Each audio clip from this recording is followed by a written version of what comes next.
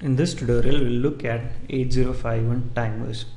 Timers or other counters. So timers or counters and they're important because they are independent of the CPU and the basic function of the timer is to simply tick or simply increment. Now depending on what the input is the unit is called a timer or a counter. Now if a timer is incrementing depending on the internal uh, clock or the CPU clock then it is called a timer. If it is uh, incrementing based on external event it is called counting. Now to clarify that let us assume that this is uh, now 8051 basically has two timers or counters and both are 16 bit. Now what it means is on every tick the timer would increment from say these are all zeros so these are all 16 bits so these are all say 16 bits now on every tick this would increment by 1 so the next would be 0 1 0 0 till all become ones. So so they'll start in hex they would start from four zeros and end at ff now each increment is called a tick. Now one timer tick the duration of this timer tick it depends on whether it is a timer or a counter now for instance let us assume that it is timer. Now uh, what what 8051 does is so whatever the crystal frequency we have like it's a norm to you know connect 11.0592 megahertz crystal. So say we have that uh, so what the uh, timer does is it divides that by 12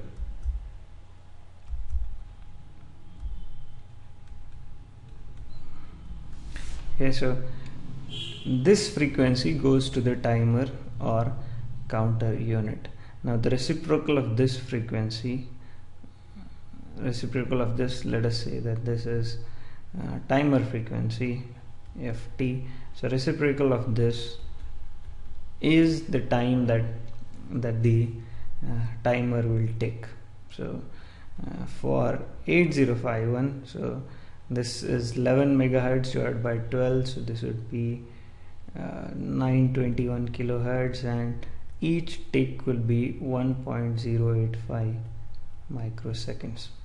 Now so what this basically means is if I turn on the timer so it would increment every 1.085 microseconds or you can say roughly a microsecond. So uh, so now what what is the use of this? Now uh, the basic uh, thing that you need to notice once you turn on the timer it keeps incrementing on its own. It does not uh, require CPU to monitor it. So it keeps counting and that is very essential in some of the projects wherein you want to you know measure the pulse duration or you want to do something uh, like a persistence of vision where you want to switch patterns uh, every say 400 hertz. So uh, so what what basically it does is it it counts independently of the CPU and then uh, whenever you need it uh, you can use it. So and also you can use these timers to generate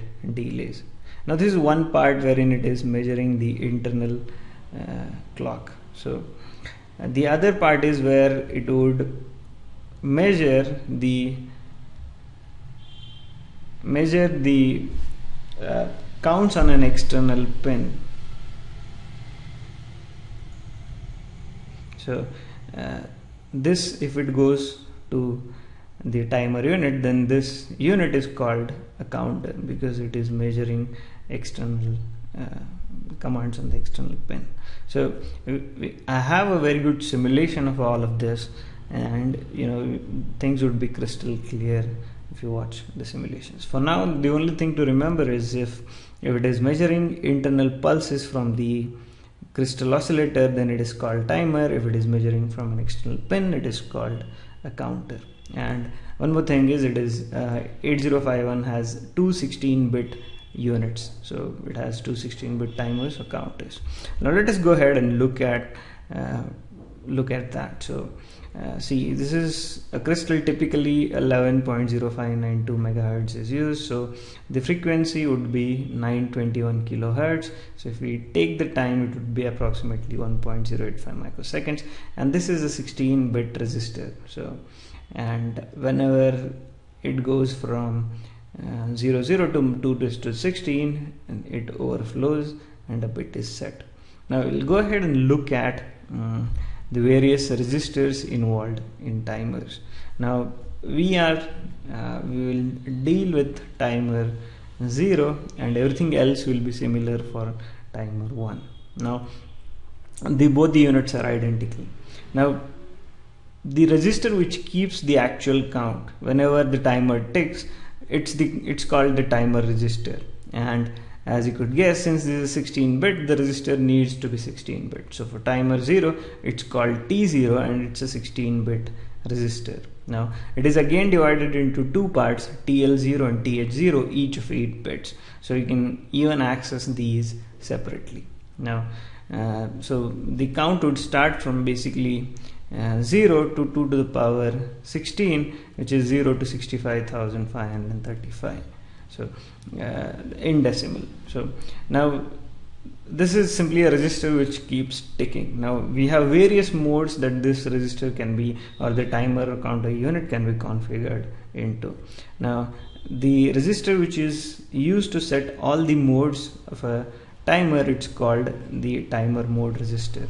Now as you could see again this can be divided into half I mean two nibbles uh, nevertheless it cannot be accessed separately so it's one complete register but what you could see is the the lower nibble this is I mean dedicated to timer 0 and this is dedicated to timer 1 now there are various bits here so uh, again these are identical. So you look at timer 0 in our case. Now uh, this is the gate control bit. You will see that in the simulation.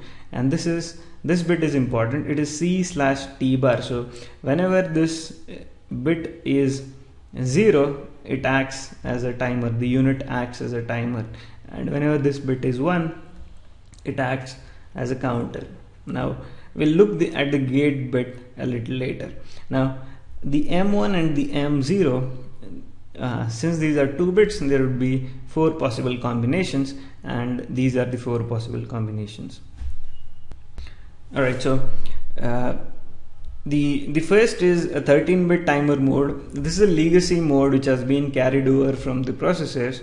And what basically it does is it counts from 0 to 2 to the power 13 which is uh, 8192 so from 0 it just counts up to 8192 and the 16 bit mode uh, which I call the normal mode uh, it counts from as we discussed since it's a 16 bit timer it counts from 0 to, to the power 16 which is 0 to 65 535 uh, so this is the next mode.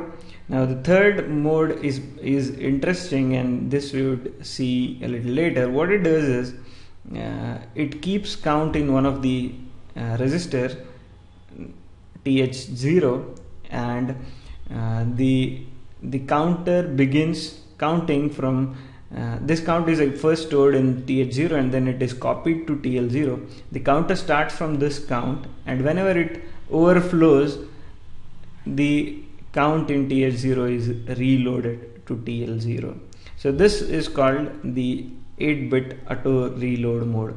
Now this um, is useful when you want to generate a specific frequency and this is used uh, in serial communication like say you want to generate a baud rate of 9600 or a frequency of that this is pretty helpful because if we find out the time from which it needs to tick and overflow we can auto uh, reload it and it keeps generating the required frequency so this is a pretty interesting mode. We'll look into it when when we'll deal with serial communication. And the last combination is split mode, and this is not quite useful. So what it does is it splits the existing timer into two separate timers. So t0 itself will be you know it would be tl0 would be uh, a separate timer and th0 would be separate timer. And as you could get these are just 8 bits. So they would run from 0 to 2 to the power 8 which is 255 and uh, 255 is is a very small number to work with uh, even for timers or counters. So hence these the split mode is rarely used. Now let us move ahead and look at uh, one more register which is associated with the timers.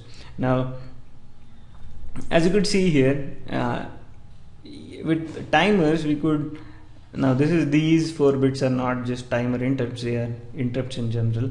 So the interrupt should cover them in a separate video. Now let's just focus on timers. Now uh, the timer control register tcon has four bits that deal with timers. Now timer 0 these has two bits. Timer this is uh, now since we are dealing with timer 0 let's look at that. So uh, TR0 it's the timer run control bit. So what it means is uh, so this is a trigger for the timer. So if we make this bit as 1 the timer starts ticking. If there are uh, no other I mean there are various ways to configure. So let's say that this when we turn on this bit the timer starts ticking.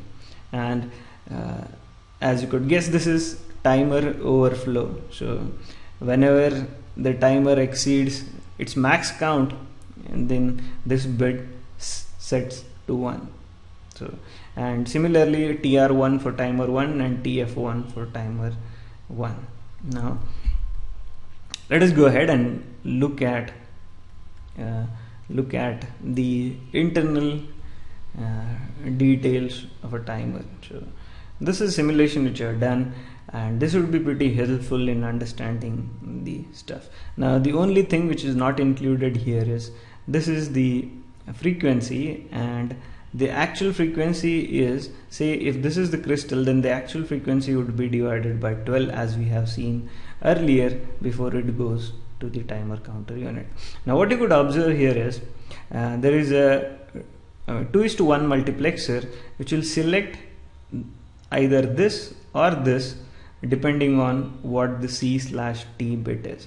Now this if you remember this bit is in the T mod register and this TR0 it's in TCON and this again it is in T mod. And now this is external pin and this is the external pin on the microcontroller. Now what it does is now if C slash T if it is 0 it selects the internal frequency which is divided by 12 and this is passed on. Now uh, you could also see that there is one more control bit. Now for instance assume that this is 1 so uh, if this is 1 then the this frequency is fed to the timer register, which is t0 and it starts ticking. Now what all these bits are you would rather see it in the simulation. So uh, just wait a while while I bring it up Alright, uh, let us look at the simulation now. Now, what you could observe is, as have discussed before, so this is the clock. So, uh, you not included the, uh, you know, divide by 12. Actually, it gets divided internally by 12 and then it goes to the timer counter uh, register. Now, what you could observe here is, this is a physical pin on the microcontroller. So, this is port 3.4. Now, this, as you have discussed, this is the C slash T or the counter slash timer bit in the T mod register. Now this is the timer run control bit in the TCON register. So if we uh, hit this one then the timer starts uh, running. Now this is again the gate in the T mod register and this is a physical pin on the controller which is the interrupt pin. This is 3.2 now if you could uh, you know remember this the pin diagram so pin 3.2 is interrupt 0 3.3 is interrupt 1 and this is 3.4 so 3.4 is timer 0 input. Now so since we are dealing only with timer uh, 0 in this case so this would be 3.2 and this would be 3.4 all right so now and again this is a 16 bit register. So this is our timer 0 register.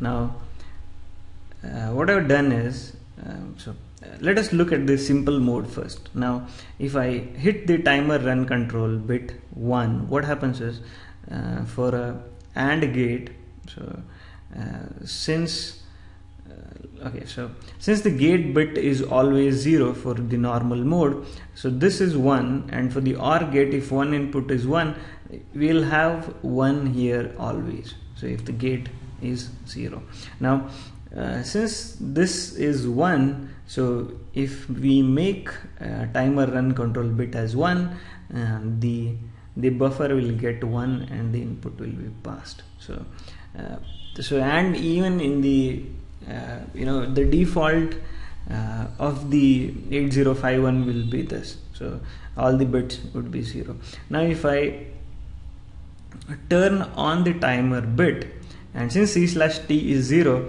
uh, since c slash t is 0 it has selected the internal clock. So what you could observe now is now if I hit the timer run control bit the register starts ticking so this is D0 and this is D15 so the lower bits start ticking first. Now what I've done is I've connected uh, connected a hex display which will display the ticks that are moving. As you could observe here so this is time tick. Now since for simulation the speed is low I can even increase the speed of the timers. So as we have discussed earlier since this frequency is divided by 12 uh, the actual 8051 timer it ticks at 1 microsecond or 1.085 microseconds to be precise. So uh, so if we make tr0 as 1 the timer starts ticking. And this would overflow when the all these bits would be f f f f. Now i could even go ahead and run it at a far higher speed so uh, so this so I have put this file on the uh, tutorials page. You can download and try the simulator. Now uh, we'll check at the next thing. So before we go ahead and do that let me just uh, clear the uh, timer count here. So what you have checked here is you just uh, you kept all the bits to the default. So c slash t is 0 since it's c slash t is in 0 it is in timer mode and it is measuring the external internal clock frequency. Now uh, let me just clear this count and we'll be back. Alright so cleared the timer now. Now let us see how it works as a counter. Now for it to work as a counter the c slash t bit this should be 1 so let me just turn that on. And uh, for even the counter to run we should make tr0 as 1 so this um, so this is a control bit. So if we make this as uh, 1 the timer runs and even the counter runs. Now for the since it's in counter mode it will not run on the internal frequency. So since this bit is 1 it will select the external pin. So if there is a high on pin 3.4 the counter starts ticking. Uh, let me just check